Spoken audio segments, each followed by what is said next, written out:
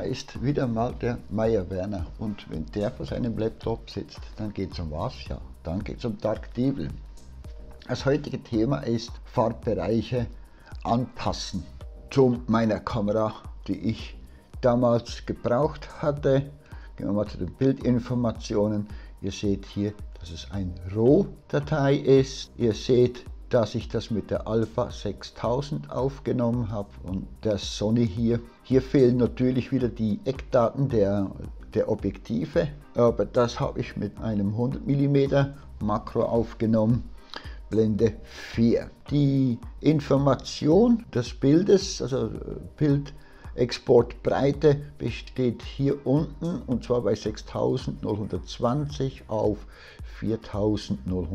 4924.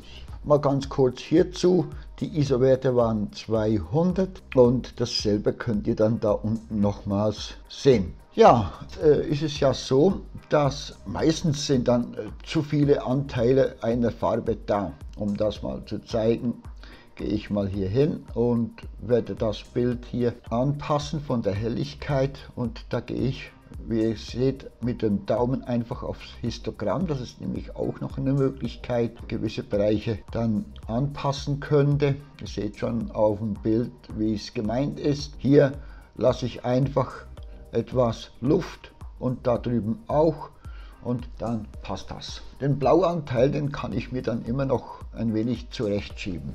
Jetzt seht ihr schon von Grund auf, dass wir viel, viel, viel Grünanteil haben hier. Ich werde es jetzt auch noch ein wenig übertreiben. Das ist nur ein Beispiel, wie man ein Bild nachträglich nochmals bearbeiten kann, wenn einem das zu viel ist mit diesem Grün. Und jetzt gehe ich hier auf die Farbregister und gehe in den Farbbereich rein.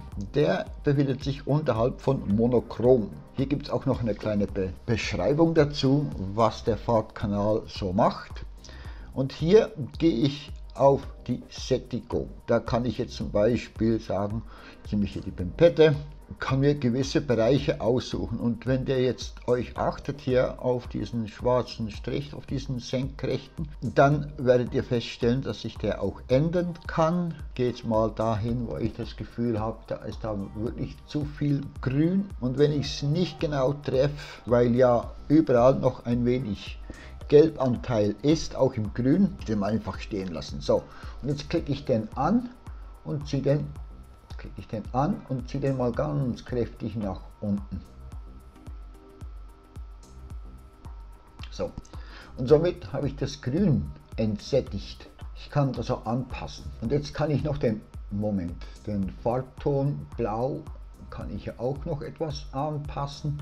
Aber hier drüber über die Sättigung kann ich einzelne Farbtöne anpassen. Zum Beispiel das Blau kann ich auch noch dementsprechend anpassen. Und dann kann ich das Grün noch etwas hinaufziehen und so kann ich dann mein Grün entsättigen. Jetzt schauen wir uns das mal noch an. Ich mache jetzt noch einen Screenshot, dass wir ein Vor- und Nachher-Bild haben. Ziehen wir noch das an und dann nehme ich die Arbeit Sondenangriff, wirst du wohl.